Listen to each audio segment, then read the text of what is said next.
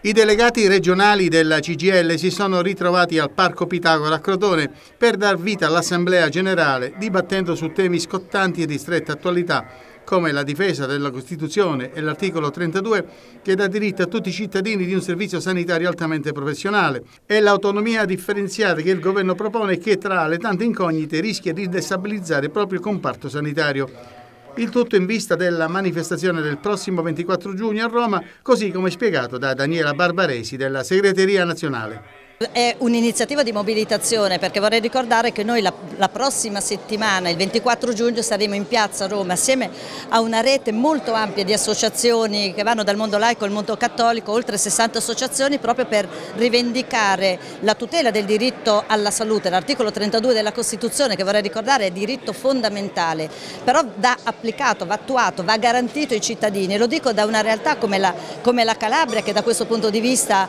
eh, vive eh, i, i propri cittadini hanno, vivono in condizioni di forte difficoltà da questo punto di vista. Noi abbiamo bisogno di adeguati finanziamenti, di rifinanziare adeguatamente il Servizio Sanitario Nazionale, organizzarlo, garantire il personale necessario per tutelare i diritti dei cittadini, il diritto alla salute ai cittadini della Calabria come ai cittadini di qualsiasi altra regione del nord, perché oggi, eh, oggi le diseguaglianze e le ingiustizie tra le persone, tra i territori sono troppo ampi e insopportabili. I temi delle diseguaglianze purtroppo purtroppo attraverso anche questo disegno di legge Calderoli colpisce soprattutto la sanità,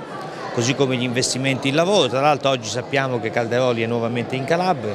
quindi gli vorremmo ribadire nuovamente che quel tema, soprattutto sulla salute, sul lavoro, sulla scuola, eh, perché il tema dell'istruzione e della scuola sono fondamentali, sono elementi divisivi. Noi siamo in mobilitazione, oggi facciamo questa giornata di mobilitazione, ma il 24 di giugno, sabato prossimo, saremo a Roma perché il diritto alla salute, come dicevamo prima, è un diritto fondamentale, in Calabria è un diritto negato, c'è un appiattimento sulla sanità privata, abbiamo detto che bisogna rivedere gli accreditamenti, così come bisogna fare questo grande piano di assunzioni nel settore della salute e quindi da questo punto di vista ecco, il tavolo adduce, il tavolo del governo dovrebbe dare una mano alla Regione Calabria e poi bisogna fare soprattutto velocemente sull'emergenza urgenza. Non è possibile che le persone muoiono perché le ambulanze non sono medicalizzate e viaggiano senza i medici a bordo. Questo è un fatto grave anche per un paese civile, così come un fatto grave è la tenuta dei nostri pronto soccorso e il riordino della rete ospedaliera. Abbiamo chiuso gli ospedali